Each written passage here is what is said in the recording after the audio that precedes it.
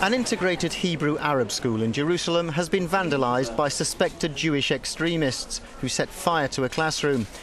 It happened late on Saturday at the Hand in Hand school, where Palestinian and Israeli children study together in Arabic and Hebrew. Death to Arabs read part of the graffiti scrawled on the walls.